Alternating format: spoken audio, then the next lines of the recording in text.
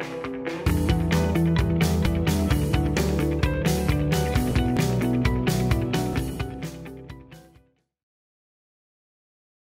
everyone. Uh, my name is Anna Albinsson, and I am CMO at Bisnode. Uh, I'm happy to be here to share some thoughts about how you can work with data to do better and more efficient sales and marketing. Uh, I've also invited uh, Mats Lindgren, who is CEO at Kairos Future, and he will also share a study that we have done together uh, where we have interviewed 300 CEOs around Europe on how to become a more data driven company. But uh, let's start with uh, some uh, insights on uh, how to work with sales and marketing in a data driven way. Things are moving really, really fast in the digital world. Uh, the human brain works uh, the same today as it did 10,000 years ago. But someone told me that we have as many impressions in one day today as someone lived in the Stone Age had for a full lifetime of a period.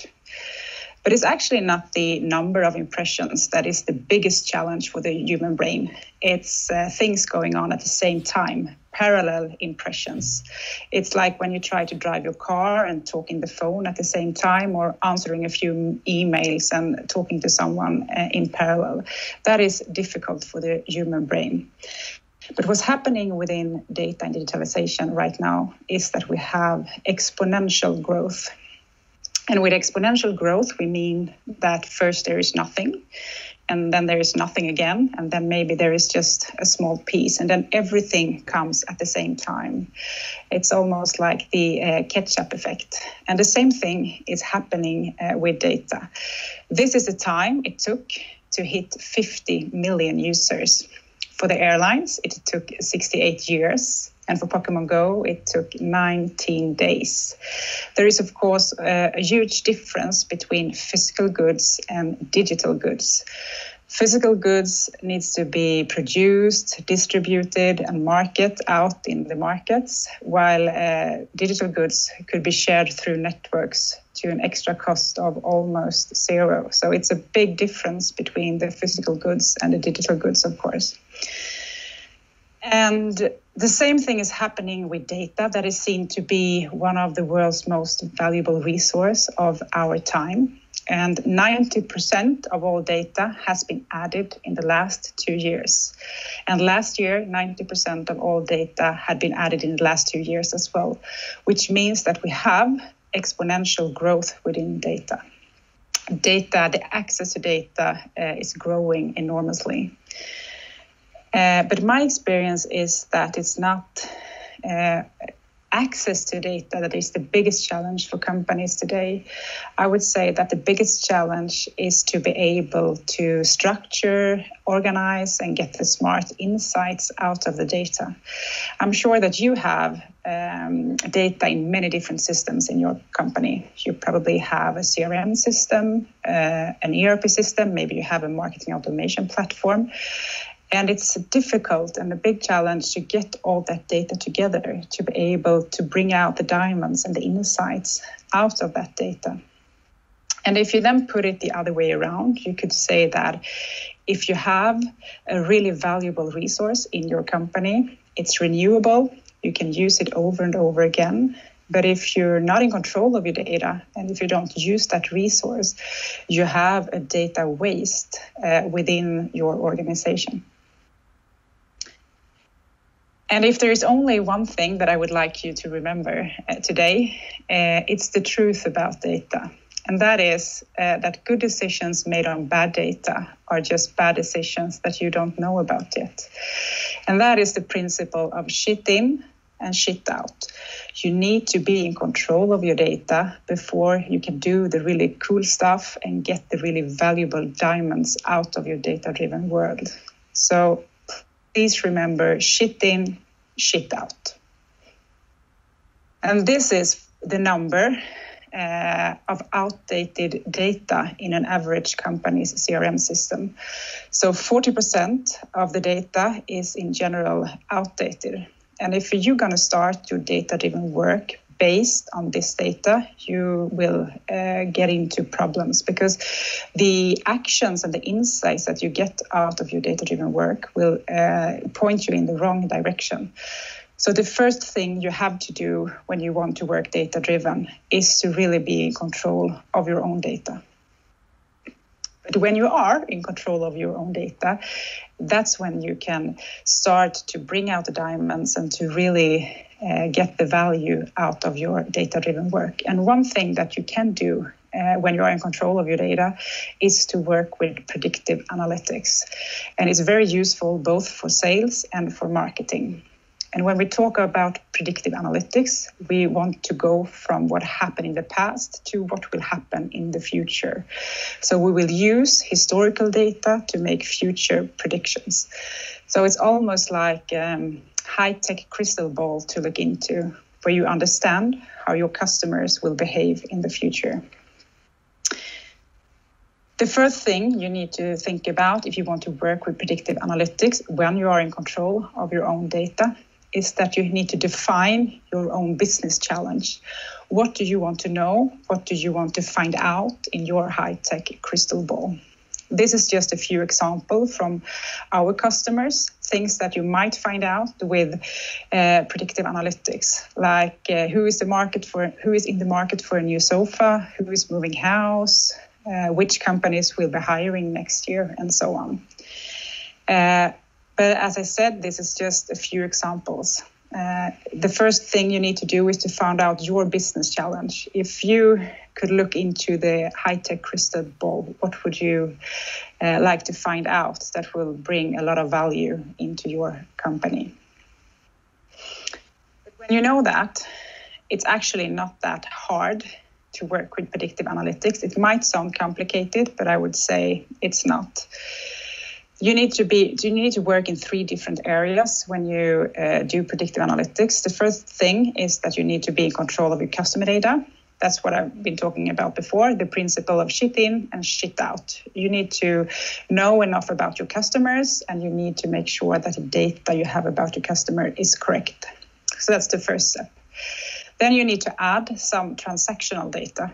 And with transactional data, I mean that we need to understand how your customers has behaved in the past. What uh, did they buy before? What kind of products? When do they buy from you? And so on. So we need to understand how your customer has behaved in the past in your company. And then you add some analytical variables. That is often something that you don't have within your own company. It's something that you need to a data analytics company to provide for you. But if you are in control of your customer data and you can share some transactional data, we can do uh, predictive analytics together. When you have found out what you want to know about your customers in the future. So we uh, have asked 300 C levels around Europe. Uh, what they see as the biggest challenges in becoming a more data driven company in general. And when we ask that question, we get a pretty clear answer. Um, and the biggest challenge for companies today is data.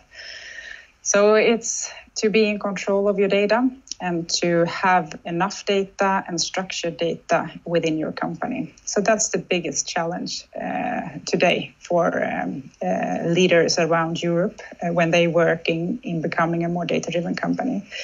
But as you see, uh, two to five uh, is employees, change, people, and management. So to become a more data-driven organization is also a lot about leadership and people management and so on. So it's not only the hard stuff that you need to be in control of, you also need to be in control of the culture within your company and the people working there. So they work together with you in becoming a more data-driven company. We actually ask them uh, what annoys them uh, the most at work is it people or tech? And it's actually almost 50 50. And this also indicates that a lot of companies struggle uh, not only with tech and data, and they also struggle with the, uh, how how to lead the people uh, through a data-driven transformation journey within the company. So it's very very important to not only focus on tech and data, but also bring on the people uh, on this journey. But one thing that is very very clear is that there is a huge potential for those companies that are able to work with data and become uh, a data driven company for real. And the leaders around Europe agrees on that in 2030 winning on our market will be about using data better than anyone else. And that is uh, applicable in uh, almost all industries and on different kind of levels. So there is a huge potential for those companies that uh, are successful in the data driven transformation.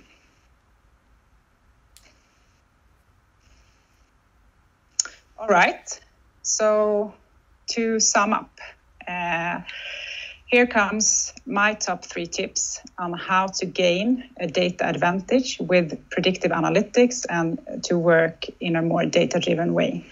And the first thing is that you need to define your business challenge. What do you want to know about your customers? What do you want to see in the high tech crystal ball in the future? Secondly, make sure that you have the right data and know enough about your customers. That's the principle of shit in, shit out. Thirdly, that you need to promise yourself to act on the insights that you get out of your data. And that is where a lot of companies actually struggles because when you work in a data driven way you will get the diamonds and you will get the insights that can really change uh, your company and make it grow and it, work in a more efficient way. But if you are not able to act on the insights, you will do all that work for nothing. So when you work within marketing and sales and you really find out who will be interested in your products in the future, then you need to be able to work in a way so that you can uh, really unleash the power of that insight probably you need to change the way that uh, your sales force works. They need to work on different accounts. They maybe need to uh, work on other parts of your offerings and so on. But you need to make the changes according to the insights to get um, the full uh, value of your investments. So before you start your data driven work, promise yourself that those insights we will get out of this investment, we will make sure that they will um, happen uh, and we will act on them to to get the full value. So that's my top three tips if you want to come, become a more data driven company and work with predictive uh, analytics. Uh, and as I introduced now, uh, we have done this survey uh, with uh, where we have interviewed 300 C levels around Europe uh, about uh, how to become a more data-driven company. And to do that survey, we worked together with Kairos Future. So Mats Lindgren has promised to give you some more details and insights about this these interviews. So I hand over to you now, Mats. Thank you very much. And I'll try to share my screen then and to also present the results. So, um, uh, we summarized everything in seven steps to the data-driven organization. I go through not all, through all the steps, but at least give an introduction for you. Um, and then you can download the full report at Bisnode's website if you're interested in all the details. But just a few uh, words about myself then. Uh, since more than 25 years, I'm running a company, a foresight and strategic innovation con- consultancy, where we try to assist our clients in sort of spotting the future before the competitors do and act upon it. But during that journey, we've also realized how important it is to work with the data. So, actually, as a spin out from the company now, we have a, an end to end text analytics SaaS platform that where you can work with exactly what Anna talked about, but also with unstructured data such as text. But I'm not going to talk about that now, but I'll be talking about uh, the results from the report. So, what is the status in uh, European business now in terms of data maturity and data uh, orientation? Um, well, the, we have a number, asked actually a number of questions. And one of the questions was, of course, how mature are companies and what is the way to, the, the road to maturity? And the results basically were summarized in a five step uh, model where we can find on, on the left side here with the laggards, like 16% of the companies in 10 countries across Europe. And on the other side, the more data driven companies. Probably five years from now, or 10 years from now, we wouldn't consider them being data driven but more maybe strategic or structured. But today they are really more data driven question number one does sort of does it pay off to be data driven and to find the answer to that we actually asked nine different performance questions to the, to, to the respondents and asked them to rate themselves compared to their peers in their own industry and that's quite a normal way uh, working with uh, management uh, research in this, this kind of management research. And the thing is that if we look at uh, companies on the lower side, on the laggard side, that have not implemented that many uh, sort of data practices in their business, uh, only 2% consider them uh, high performers, whereas 47% of the more sort of mature companies consider themselves high performers compared to their peers. So it's a huge difference between the uh, the data driven and the less very less data driven companies. So how do you move from, from being laggard or curious up to strategic or, or data driven then? There are a number of barriers, and, and Anna talked about one of them. That's basically data. But there are other barriers, and the one at the bottom in, in her presentation was management. But management actually came up, or top leadership came up as spontaneous comments from, from several of the respondents to get the understanding from leadership of the need for data, for instance.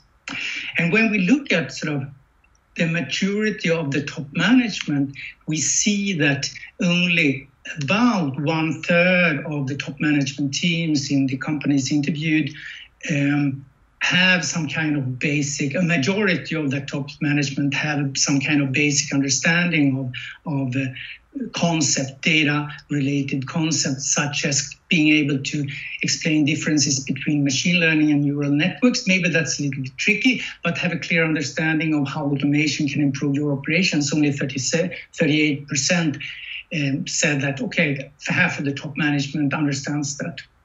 And also among the, uh, also among the uh, interviewees, one fourth actually said that I think it's too much talk about data and AI. So there is some kind of resistance, obviously, also among top management in, in many companies uh, across Europe. But the question then is does this sort of data maturity among executives matter in terms in companies becoming more data mature in general and also being more high performing? Well, it seems like it matters a lot. on the left hand side, you have companies with low managerial knowledge. On the right hand side, you have the high managerial knowledge companies. And you can see the curves, they go from quite straight, straight upwards. And in fact, actually, if we look at sort of the being the percentage of high performers, only 9% in the bottom and 54% in the top. So it's really, really a big difference uh, and it has a huge impact both on the maturity in terms of applying different ways of working with data in the organization and also on the performance of the organizations. Another sort of challenge that also appeared on, on Anna's slide before is the cultural aspect. And that the question is, okay, what does a successful culture look like when it comes to, to becoming more data um, agile or data mature. to find out, we took a model that was presented in HBR, Harvard Business Review, in two years ago. Um, and applied that in, in the research. And they identified eight general cultures in, in um, that companies can have. And the question, of course, is what does a winning data culture look like? What kind of sort of cultural um, characteristics are the most characteristic cultures in that kind of organizations. And not so surprisingly, it's really a learning culture and also results oriented culture. Whereas on the other side, sort of the looser cultures seems to be the quite the opposite. It's the security oriented organizations and the caring, the, the cozy, caring oriented organizations that are not that alert and not that sort of um, fast to move into some a more data driven approach. So one conclusion from that would be could be be that we need actually to get rid of, of the compliance cultures that now seems to reign so many uh, organizations across Europe and other parts of the world as well. We are so afraid of doing not complying to all the uh, rules and regulations that we're supposed to apply to, uh, comply to. Um, third question then is where should we put the money? If we start investing in being more data oriented and data driven where should we put the money? Is it in more money into the it departments support functions? Should we datafy marketing r&d sales purchasing logistics production customer support? Where should we put the money? So we looked, asked the companies actually, or, or, the respondents, where do you put your money, or do you plan to put your money now? and then we looked into, okay, sort of uh, based on where they put the money now, how do they perform?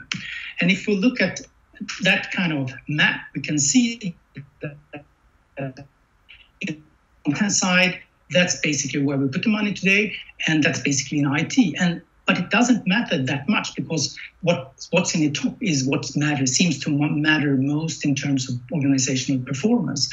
So we seem to be very much um, over investing now in IT related um, uh, aspects, whereas we should invest much more in in marketing, sales, and R&D related data projects. So, finally, then seven steps to uh, becoming a more data-driven organization, and that's also in the report. First of all, it's now it's happening it's not the future data is not the future it's, data is basically the present and you need to start experiment and try out new models to work with data and to gain um, new insights and, and high performance based on what you, the data you actually have um, the second one is that executives and management in general should take and must take the lead uh, if not, nothing will happen. We need to identify the, the pockets of resistance and beat the resistance and promote a learning and achieving or sort of results oriented culture. Attracting talent, and I mentioned that also, that is also extremely important. Being um, an attractive employer, and that seems to be much, much more important for the more mature companies. In the beginning, it's very much data. In the end, it's very much when you are already mature and you're maturing, you have a big problem in, with attracting all the talent you basically need to do the projects you are intending to do we also need to shift perspective away from uh, investing everything into IT, with this is an IT issue, into focusing on what seems to matter most is marketing and sales, sort of marketing side, and also the R&D development side that seems to matter. And finally, this is not uh, one shot; it's it's a continuous improvement process, and the when you start walking, you need to continue walking because each step we take on the road to data maturity widens the horizon and opportunities to continue moving forward. So, uh, thank you and good luck. I think you'll need it.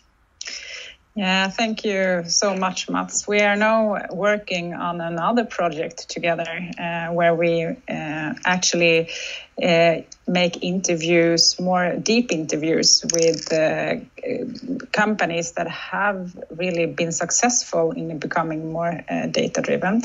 That uh, report will be launched in sometime in September, but I know that now in times of corona i know that we talked to these companies about how uh, corona has impacted data and analytics investments can you just say a few words about the results of that yeah the, the, very, the very short summary is that um, for some companies, of course, it's been financial restraints now, and the companies that are really hard hit, hardly hit on by the COVID-19, but they are quite few.